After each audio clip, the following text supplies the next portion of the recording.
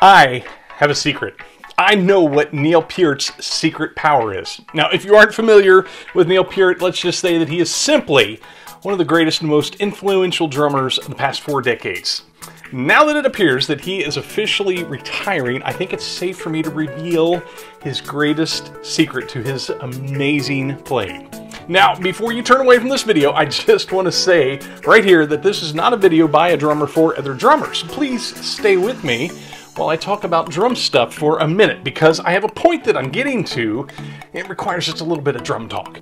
Now, before I get to Neil's secret power, I have to give you a little background how I discovered his secret.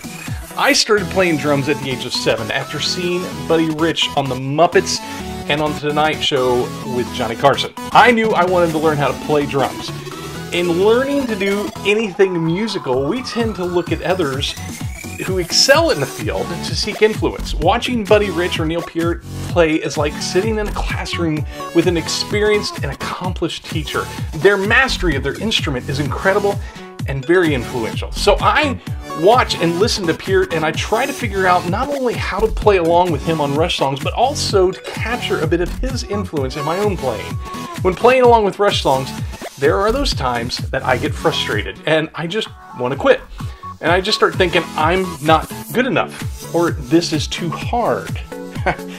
it's just too hard. Uh, now, there's a statement of fallacy if I've ever heard one. If you look at any one situation where one human being is able to do something that another human being believes to be too hard, the second human being has to be wrong because the first human being has already proved it possible. But many of us allow ourselves to use the excuse, it's too hard. Buddy Rich once shared that he ran into a lot of people over the course of his drumming career who would say, Watching you makes me want to quit, Buddy. And Buddy was quick to tell the person that he wanted people to be inspired by his playing and not discouraged by it.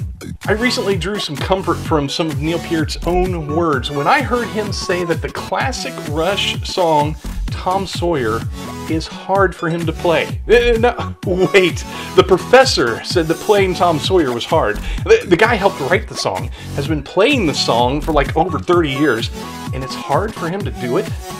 And that's when it made sense to me. That's when I realized Neil's secret power is he doesn't avoid the difficult. The difficult is what is required. As a performance artist, many of us will usually perform within a comfort zone in public. We may push ourselves in private, but not when it comes to the performance because we don't want to mess up. This willingness to do what is hard for the sake of the music is what has made Mr. Peart so great.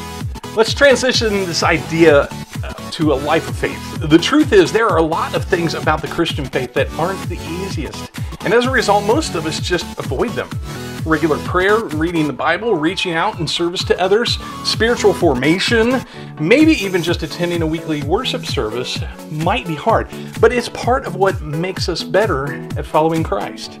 So on the drums, I have found that the only time I get better is when I push myself beyond my self imposed limits. I find often, even when I'm playing alone, I will still work within my comfort zone. But when I push myself to try things I've never done before, I will certainly make mistakes. And let's face it, we often refuse to push hard in order to avoid making mistakes. But the truth is, those mistakes can serve as some of our best opportunities to learn. I was out for a drive with my son who had his temps at the time. He was still learning to drive.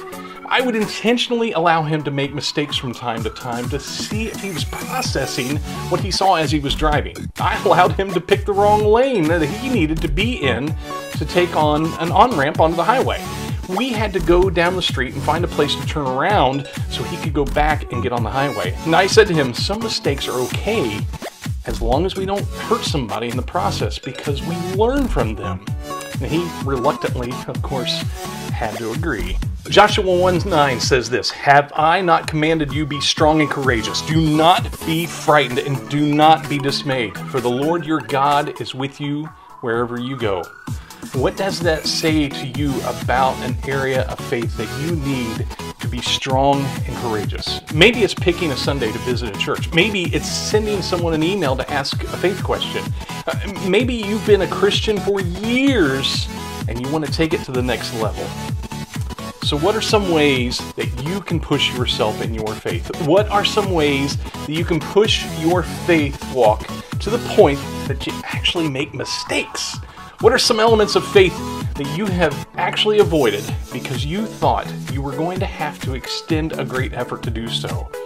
Is a life of faith supposed to be easy and smooth sailing? And Jesus himself said that in order to follow him, we would have to turn from our selfish ways, take up our cross, and follow him. What does that look like to follow Jesus? What were the things that he did that calls to us to do? That's something to pray about, don't you think? Exploring the elements of faith can be a lifelong pursuit. Knowing what questions to ask can be the hard part.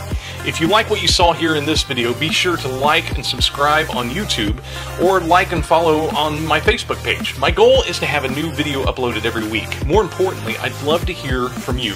Share your thoughts with me about what the video means to you, or if you have a faith question or video suggestion, send me a message about it.